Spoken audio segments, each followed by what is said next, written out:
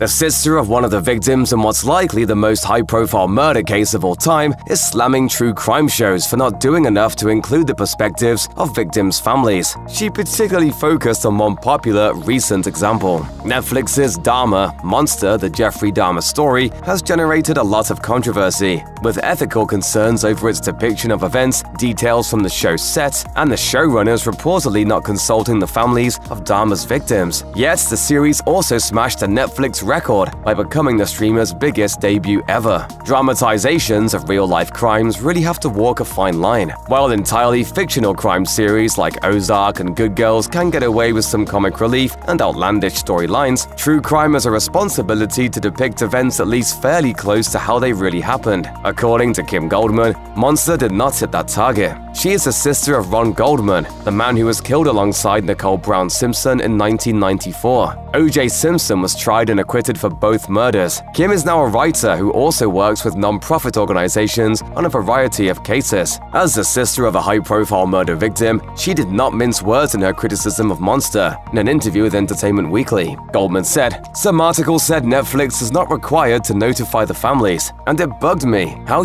shitty is that? That it doesn't even dawn on you from just a human space that you would give someone a courtesy call. Goldman added that when she and her family heard about the FX series, The People vs. O.J. Simpson American Crime Story, they reached out to ask what they could learn. We asked if we could see an advanced copy. We were told no. I said, well, that's unfortunate. It kind of works against you. If you were to at least share it with me, then I would be able to say, hey, they shared it with me, and this is what I feel about it. Missed opportunity. The People vs. O.J. Simpson and Monster both had the same executive producer, Ryan Murphy. You know, there's so many places that they took creative liberties, and a part of me is thinking, you know, why do we need the show? We had it on television, gavel to gavel, for 10 months.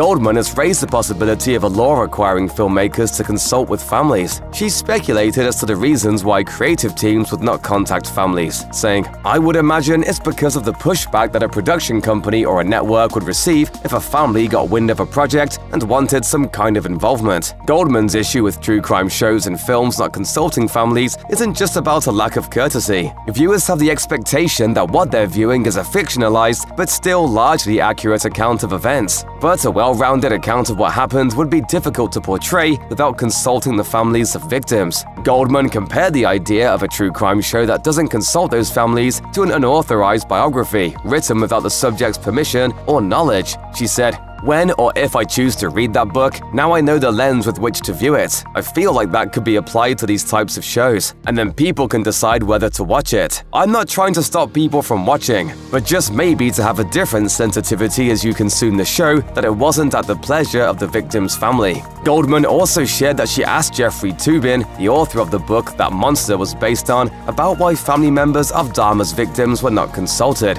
She recalled, he said, well, it wasn't victim-focused, and I'm like, well, that's the problem. Goldman added, I think it's changed a little bit over the last couple of years, but most of the shows are from the criminal's perspective, from the law enforcement perspective, from the legal perspective. Very seldom do you often see it from a victim's perspective. It paints a picture that victims and survivors are in the background, you know, in a fetal position on the floor. She said the experience of the victims is just as important as those of the criminals and the police. Goldman said, It's irresponsible to not in some way include the families so that you can understand what they're experiencing and to give a little bit more power back to them.